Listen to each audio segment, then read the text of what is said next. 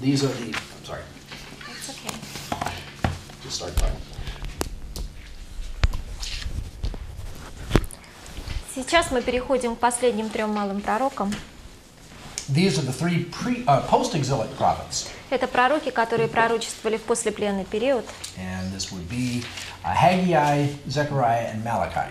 А Агей, Захария и Малахия. Let me uh, try to do a little better on uh, giving historical dates than I did when we were studying Zephaniah. А сейчас я попытаюсь наиболее точно а, сообщать те даты а, исторические, которые нам будут необходимы, чем это было, когда мы изучали книгу пророка Сафонии. At, at my advanced age, Я человек уже не молодой. one of the one of the things I miss most is my memory. Больше всего мне сейчас не хватает памяти. I forget things all the time. Начинаю все забывать. My wife is about my same age, А жена моя примерно того же возраста, что и я. and we have agreed that between the two of us, we have one good brain. И мы решили, что на двоих у нас один хороший, трезвый такой э, разум, знаете, такой, который все помнит, но на двоих один. So I will read from some notes to try to help me remember the right dates. А поэтому для того, чтобы называть вам все даты правильно, я буду их лучше читать у себя в э, заметках. Haggai and Zechariah wrote at the same time Агей и Захария писали в одно и то же время. in 520 BC. А в а, 520, 520 году до нашей эры. Um, the fall of Judah and Jerusalem came in 586 BC. А падение Иуда и Иерусалима произошло в 586 году до нашей эры. You remember from uh, previous studies, the fall of Babylon came in 539 BC. А, И, как вы помните, падение Вавилона было в 539 году And- до нашей эры. and- 539. 539. Very shortly after that, А, Спустя, э, спустя небольшое время после этого Cyrus позволил э, некоторому количеству евреев вернуться в Иерусалим. And very shortly after that, those Jews began to work И вскоре после этого эти евреи on rebuilding the temple. а, начали восстанавливать храм Uh, that would have been with Zerubbabel. под руководством Зарававеля. And then um, that really brings us to the historical context for the book of Haggai. Вот это мы- в этом и состоит исторический контекст книга пророки Агея. The name Haggai comes from the Hebrew word for festival. Э, Имя пророка Агея – это древнееврейское слово, которое означает также праздничный. And he is writing to encourage the Jews to build the temple. Он пишет для того, чтобы побудить евреев восстанавливать храм. Now, these three books of the post exilic period Эти три книги малых пророков после пленного периода are all three fascinating books for various reasons. удивительны по самым разным причинам Haggai и is fascinating восхитительны. А Агей восхитителен тем, что because it is fast moving. а, события разворачиваются там очень быстро, такая динамичная книга. He gives four sermons in two chapters. А в двух а, главах содержится четыре послания. Zechariah is fascinating because he writes in apocalyptic literature. Захария изумителен тем, что он пишет апокалиптическую литературу. Uh, Zechariah just has wild images. У него буквально невообразимые образы, которые он рисует. Uh, and he will keep us fascinated as we И uh, по мере чтения, по мере чтения книги пророка Захарии мы можем в должной мере насладиться этими образами и восхищаться, изумляться ими непрестанно. Malachi, who wrote many years after these two, А Малахия, который писал а, спустя продолжительное время после первых двух пророков, то есть Агея и Захарии, he is so interesting because he takes on the problems the Jews have интересен тем, что он размышляет над проблемами, характерными для евреев, and calls them to uh, repent in very, very specific и ways. призывает а, народ покаяться в каких-то конкретных грехах и беззакониях. If you wanted to have a tremendous background to these three books, А Если вы хотите а, получить а, достоверные сведения об историческо-политическом фоне этих трех книг, then you would want to read Ezra, Nehemiah, and Esther, то необходимо прочитать книгу Ездры, Неемии и Исфирь. because all three of those books are historical books Потому что все эти три книги – это исторические книги, written about the same time that these three которые были написаны как раз в то время, в которое пророчествовали эти пророки. All right, um, let's take a look now at the first of the four sermons that Haggai preaches. Сейчас мы будем рассматривать первую из четырех посланий а, пророка Агея. Uh, he, unusually for a prophet, Haggai dates his various prophecies. А, Необычно для пророка, но Агей пишет даты всех своих посланий. He says uh, in verse 1, В первой стихе он а, пишет, во второй а, год царя Дария, в шестой месяц, в первый день месяца, было слово Господне через Агея пророка к Зарававелю, сыну Соловифилеву, а, правителю Иудеи, к Иисусу, сыну Иосидекову, великому Иерею. Итак, это второй. А, Год царствования царя Дария, and that makes it 520 BC. А, 520 год, до Рождества Христова. Uh, Zerubbabel is the political leader of Jerusalem at this time А в это время Зарававель политический лидер своего народа. Иерусалима, by Darius the Persian king. а, которого как бы установил, утвердил а, Дарий, а, царь персидский. Zerubbabel is actually in the line of the kings of the Davidic line, А Зарававель а, является потомком Давида, and you find him listed in Matthew's genealogy. а, и в родословной, которая изложена в Евангелии от Матфея, он He упоминается. is in the line of Christ as a king. А, То есть он а, потомок Давида и, соответственно, в роде, в котором в конечном итоге был рожден Мессия Христос. the high priest at this time А in of первосвященник Israel а, того времени в народе израильском is Joshua. а, Иисус. It is, it is important, uh, I know that you know this, Я знаю, что вам это известно, but if we don't have a, a sense for the context of uh, the book we're studying, А, И все же важно подчеркнуть, что вне контекста изучаемые книги, we can make wrong assumptions.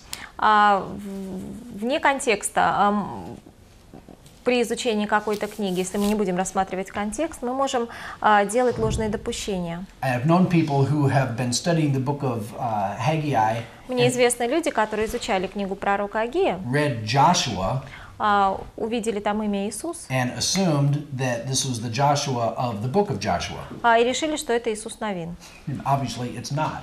А, ну, разумеется, это не Иисус Новин. There are many people in the Bible with, with the same names. А, имя э, Иисус э, среди еврейского народа было очень распространенным, и многие люди его носили. And in the time that Jerusalem came back to, or the Jews came back to Jerusalem, the И в high то- priest was named Joshua. Итак, в то время, когда евреи стали возвращаться в Иерусалим, первосвященником был человек по имени Иисус. Now, verses 2 and 3. А второй и третий стихи. «Так сказал Господь Саваоф, народ сей говорит, не пришло еще время, не время строить дом Господень. И было слово Господне через Агея пророка». They had started building the temple almost as soon as they arrived from Babylon. А как только они вернулись из Вавилона, они тут же приняли за строительство храма, Put their hands to the good work. а, принялись за работу. And then they stopped working И потом а, они перестали работать. with the temple partly finished. Храм еще не был завершен. And they say that it's really not the time to build the temple. И стали говорить, не пришло еще время, не время строить дом Господень. But they say it is time for us to dwell in really nice houses. А, но вместе с тем пришло время нам строить дома для себя. So, what we see at the very beginning of this book Поэтому в самом начале этой книги мы видим is a real misplacement of priorities. а, неправильную расстановку приоритетов. They think that it's more important for them to have a beautiful home Народ считает, что гораздо важнее иметь прекрасные дома, of a place of worship. а, чем заниматься строительством места для поклонения Богу. Now, they have they are experiencing a time of great calamity, as Haggai writes. Во время пророчества пророка Агея они э, испытывают бедствие и ненастье. And he describes that calamity in verses 5 and 6. И в пятом и в шестом стихах мы читаем об этой беде. «Посему ныне, так говорит Господь Саваоф, обратись и сердце ваше на пути ваши. Вы сеете много, а собираете мало, едите, но не в сытость, пьете, но не напиваетесь, одеваетесь, а не согреваетесь, зарабатывающий плату зарабатывают для дырявого кошелька». He says, Consider your ways, А, Он говорит, обратите сердце ваше на пути ваши. and then you'll notice that he says the exact same thing down in verse 7.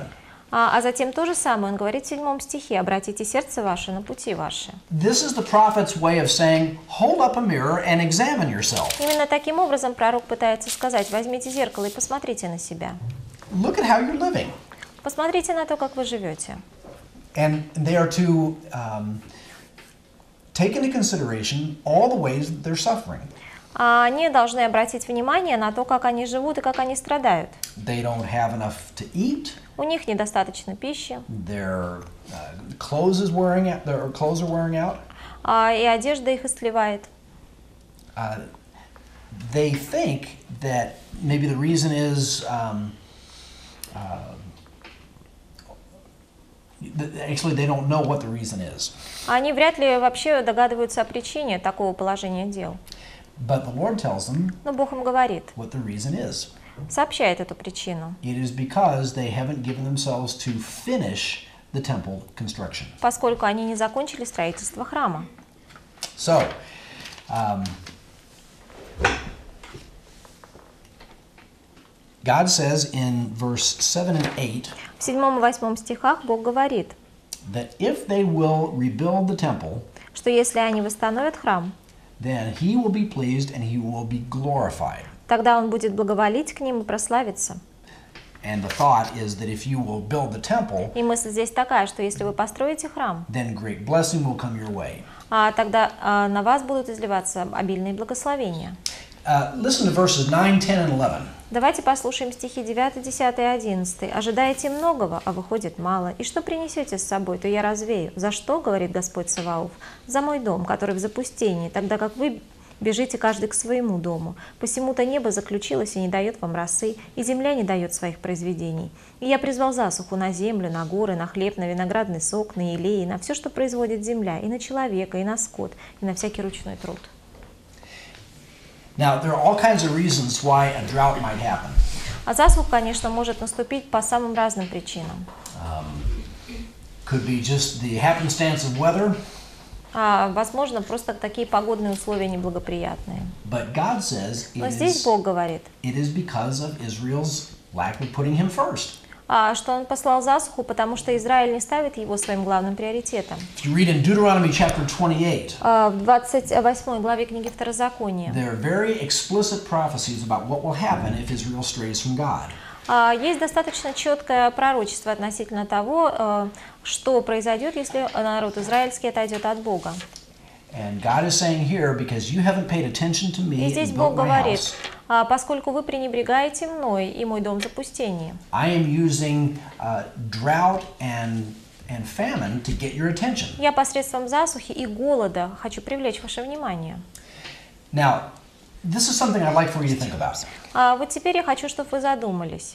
Uh, God gave command to Moses to build the tabernacle in the wilderness. А Бог дал повеление Моисею построить скинию в пустыне. But God never gave David or Solomon the command to build the temple. А, Но ни Давиду, ни Соломону Бог не давал повеления строить храм. They did it because it was on their heart to do it. They wanted to do Просто it. у них было на сердце построить храм, они хотели, желали этого. And God blessed them И Бог благословил их за то, что они это делали, за то, что восхотели это He filled делать. Solomon's temple with his glory. И он наполнил храм Соломона в свою славу. But given that there was never a command to build the temple, А, Но учитывая то, что никакого повеления относительно строительства храма не было, why do you think God is now so upset with these Jews for not rebuilding the temple? почему, как вы думаете, Бог теперь а, разочарован тем, что евреи не восстанавливают храм? What do you think? Потому что храм это не просто это, э, зда- здание было. Это место but поклонения, вот как уже worship, сказали. uh, like said. Это как бы ну, It's такое почитание Бога, то есть это um, очень важно было для евреев в то время. Exactly. Абсолютно верно. It demonstrated the condition of their hearts. Потому что э, это говорило о состоянии их сердца. Thank you. Now, one, one thing we should know А, мы должны с вами знать, after Israel came back from, or after the Jews came back from Babylonian captivity, что после того, как евреи вернулись из Вавилонского плена, they never again practiced idolatry. Они уже не занимались идолопоклонством. They didn't always worship the Lord, Они всегда поклонялись Богу, but they never again worshiped false но gods. и иным богам они не поклонялись. They, they learned their lesson. Они выучили свой урок. Поддержите ТВ-семинарий молитвой и финансами. Не рассчитывайте, что пожертвует кто-то другой. Так думают многие, и хорошие проекты перестают существовать. Поддержите наш проект молитвой и финансами. Информацию, о чем молиться и как пожертвовать, вы можете найти на сайте tvseminary.com.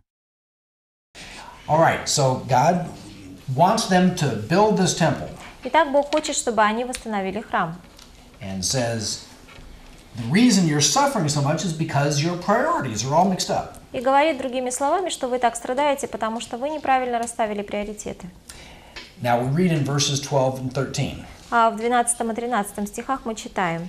«И послушали Зарававель, сын а, Салафилев, и Иисус, сын Иосидеков, и весь прочий народ гласа Господа Бога своего, и слова Агея пророка, как посланного Господом Богом их, и народ убоялся Господа. Тогда Агей, вестник Господень, посланный от Бога, сказал к народу, «Я с вами, говорит Господь». Finally, Ну, наконец-то. After all the prophets we have seen, После всех пророков, которых мы and читали, how many times have the people said, eh, we, we're not going to do what you say? А И сколько раз люди говорили, нет, мы не будем поступать а, так, к чему вы нас призываете. Finally, Haggai says, build the temple, Наконец Агей говорит, восстанавливайте and храм. the people say, okay, Хорошо, говорит народ. and they agree to build. И они согласны с тем, что они будут это делать. And then the Lord says, I am with you. И тогда Бог говорит, «А, я с вами, говорит Господь. Remember what uh, God said to uh, Nineveh А что Господь сказал Ниневии, I помните? am against you. Я против тебя. But now, because his people are Или я на тебя там был. А, но поскольку эти люди собирались встать и, наконец, заняться строительством, I am with you. Это соответствовало воле Божьей. Он говорит, я с вами. And then we see the amazing thing in verses 14 and И в 15 14-15 стихе мы читаем изумительные вещи. that on the 24th day of the sixth month, А что в 24 день шестого месяца they began to build. они начали строительство. It's 23 days 23 дня. between the prophecy Между пророчеством прошло and the beginning of the work. и между началом строительства. That's fast. Довольно быстро отреагировал народ. together, А если вспомнить, сколько всего нужно было а, проделать подготовительной работы для строительства храма, the people had a heart to work. А, то это большой труд. а Люди были настроены на работу.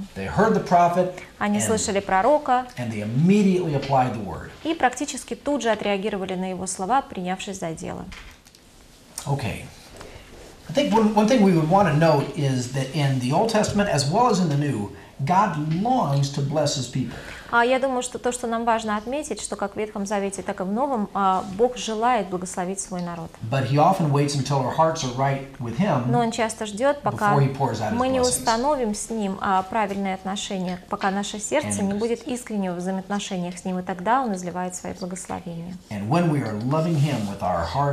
когда мы любим Его всем сердцем своим, всей крепостью своей, всем разумением своим, тогда Он благословляет нас обильно и по-разному.